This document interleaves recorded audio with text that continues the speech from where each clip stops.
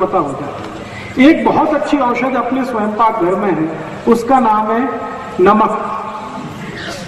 बहुत अच्छी औषध। ये नमक क्या काम में आता है? जिसको भी ब्लड प्रेशर कम हो गया हो लो बीपी उसकी सबसे अच्छी औषध है नमक। क्या करना है इसको? पानी में मिला के पीना। जिनको भी लो ब्लड प्रेशर की शिकायत है उनको नमक पानी में मिला के पीना सबसे अच्छी औषध है। कितना नमक और कितना पानी? एक गिलास पानी में आधा चम्मच नमक मिला सकते हैं या आधे चम्मच से थोड़ा कम। उतना अगर नियमित रूप से पिएँगे तो लो ब्लड प्रेशर की बीमारी बिल्कुल ठीक कर देता है और यही नमक हाई ब्लड प्रेशर को भी ठीक करता है।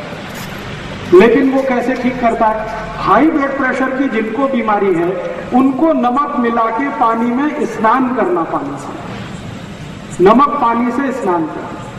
हाई बीपी जिनको लो बीपी जिनको है, उनको नमक पानी पीना है।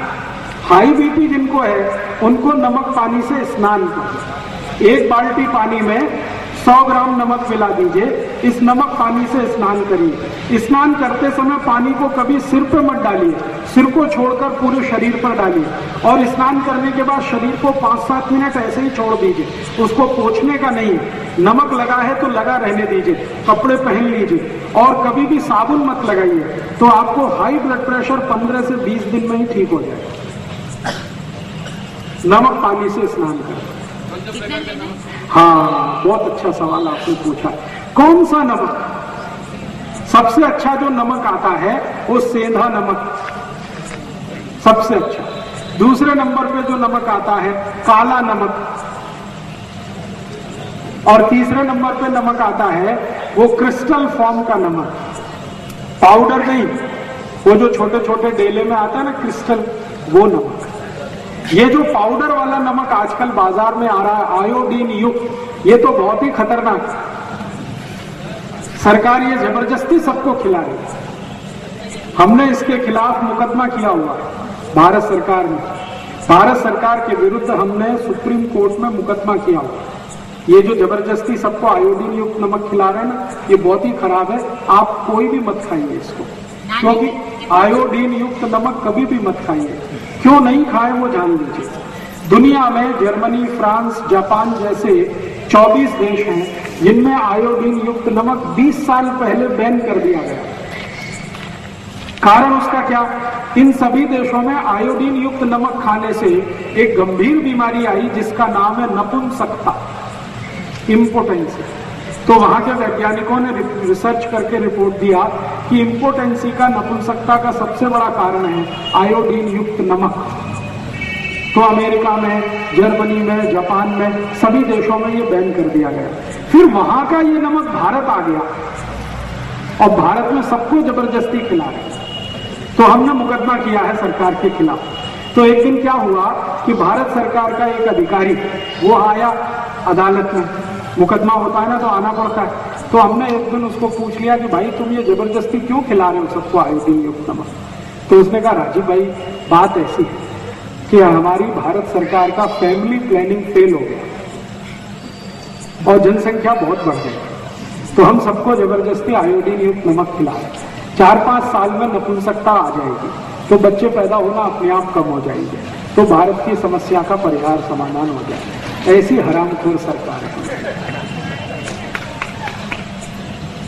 इसलिए मेरी आपको छोटी सी विनंती है कि आप ये आयोडीन युक्त नमक बिल्कुल मत लाइएगा आप नमक लाइए तो वो सेंधा नमक लाइए, पत्थर वाला, या तो काला नमक लाइए, नहीं तो वो क्रिस्टल फॉर्म का जो नमक आता है वो लाइए, उसको धोकर और कूट कर पीस कर पाउडर बना के उसको उपयोग में लाइए। बाज़ार से पैकेट में बंद, जिस पर लिखा हुआ है आयोडाइज्ड वो कभी मत लाइए। और मैं आपको एक माहिती देता हूँ कि आप बोलेंगे कि घेगा रोग हो जाएगा ग्वाइटर हो जाएगा, कभी नहीं होता। मैंने आज तक आयोडीन युक्त नमक नहीं खाया, मुझे घेगा नहीं मेरे परिवार में किसी ने नहीं खाया, किसी को नहीं। क्यों नहीं होता घेगा? मैं आपको बताता हूँ। आयोडीन की ज़रूरत जितनी हमारे शरीर को है, उतनी आयोडीन सभी दालों में होती है। ये जो तूर की दाल है मूंग की दाल है मसूर की दाल है उड़द की दाल है सभी में आयोडीन है।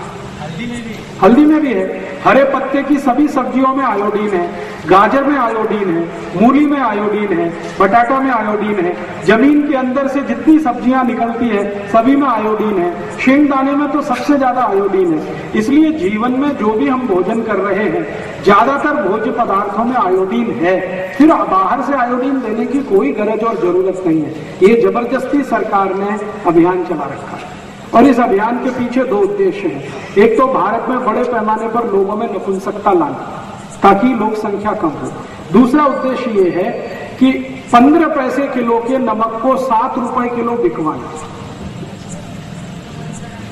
जो सादा नमक है, वो पंद्रह पैसे किलो आता है। लेकिन उसको सात रुपए किलो सरकार ने बना दिया, ये आयोडीन युक्त नमक के नाम पर। और आपकी जेब लूट रहे हैं आप खुशी से लुटवा रहे हैं, क्योंकि आपको माहिती नहीं है। आपको ये माहिती नहीं है कि आयोडीन तो सभी भोजन पदार्थों में है। हरे पत्ते की सभी सब्जियों में आयोडीन है, सभी दालों में आयोडीन है, ज़मीन के नीचे से जो भी सब्ज़ी निकलती है सभी में आयोडीन है। बिना आयोडीन का दुनिया में कुछ होता ही नहीं है। तो इसलिए अतिरिक्त आयोडीन की शरीर को कोई गरज और ज़रूरत नहीं है। लेकिन अगर अतिरिक्त आयोडीन शरीर में आ जाए तो नपुंसकता आ जाती है। ये पक्का है। इसलिए आप अपने जीवन को सुरक्षित रखना चाहते हैं तो आयोडीन युक्त नमक बिल्कुल बंद कर दीजिए, सादा नमक लाइए, वही खिलाइए। और अगर आप जानवरों को पालते हैं, जैसे मछली है, दूध के लिए गाय है, उसको भी कभी आयोडीन युक्त नमक मत खिलाइए जानवरों। को पता तकलीफ़ क्या आ रही है? बहुत सारे शेतकरी मुझे शिकायत करते हैं कि उनकी गाय और भैंस को आयोडीन युक्त नमक खिलाओ तो वो गर्भवती ही नहीं होती गाय। मछली भी गर्भावस्था में नहीं आती। कितनी खराब चीज़ है ये आयोडीन नमक। इसलिए आप इसको ना खाएँ तो अच्छा। तो नमक कौन सा खाएँगे? कल से तय कर लीजिए। वो सेंधा नमक सब जगह मिलता। थोड़ा महँगा आता है वो ले आइए। और एक नमक आता है, पाकिस्तानी नमक नाम से मिलता है। लाहौरी नमक के नाम से मिलता है। वो भी अच्छा। है नहीं तो वो क्रिस्टल फॉर्म का डेले वाला नमक वो सब गाँव में मिलता है। वो लाइए, उसी का उपयोग करें। काला नमक बहुत अच्छा है। हाँ वही वही वही संचर नमक जिसको कहते हैं वही काला नमक है। संचर नमक उसको मराठी में कहते हैं काला नमक हिंदी में कहते हैं।